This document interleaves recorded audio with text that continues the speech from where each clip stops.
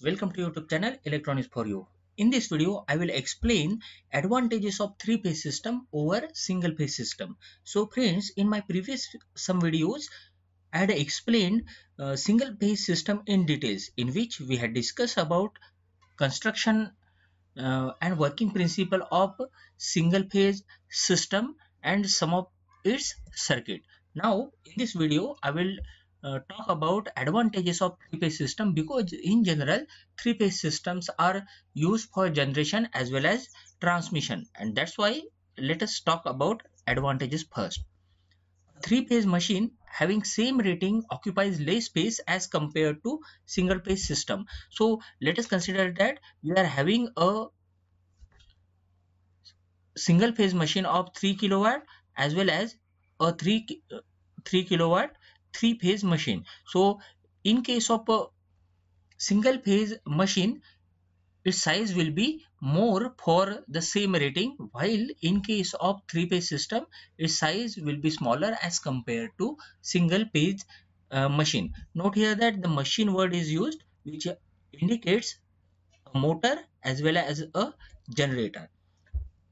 Next advantage is a three phase supply produces uniform rotating magnetic field and therefore actually they are smooth in operation as well as they will uh, be self starting and uh, they will be smaller in size as compared to single phase motors. Now three phase machines are less costly and more efficient because uh, less copper is required as well as small uh, size is small and efficiency is good. That's why we can say that three phase machines are less costly and more efficient.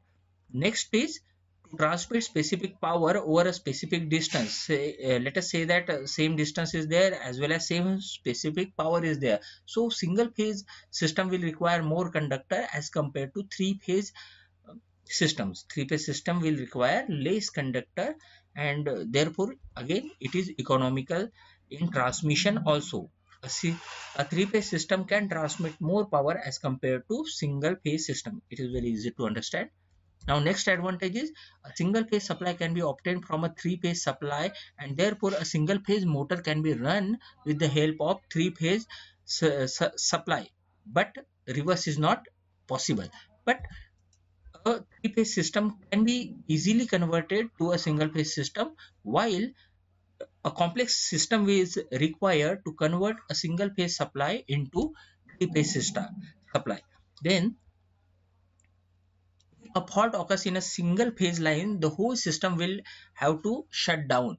While in case of a three phase system in if any one phase uh, is uh, there is a fault in any one phase then other two lines will provide the power supply and therefore single uh, this will remain activated.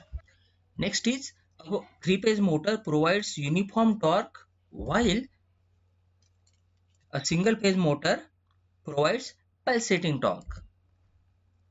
Three phase motors are self started while single phase motors cannot be started automatically. We have already discussed the, these points. Three phase motors have better power factor as compared to single phase motor next one will be the polyphase alternator or we can say that a three phase alternator can easily pair and run in parallel operation as compared to single phase alternator having pulsating armature reaction. The last uh, the next one is ripple factor of a dc rectified voltage from three phase supply is actually 4% while in case of a single phase supply it is 48 percent. Now what is ripple factor? So, so we we know this diagram. This is a, sup, uh, a supply of dc pure dc but ripple is nothing but the ac present into dc so some AC components are present over there in DC. In case of three phase supply, it is very very less. Whereas in case of a uh, single phase DC, it, it will be more means 48 percent just like this so generally this is pulsating in nature and friends if you like this video please subscribe our channel and press the bell icon for notification. And like comment and share. Thank you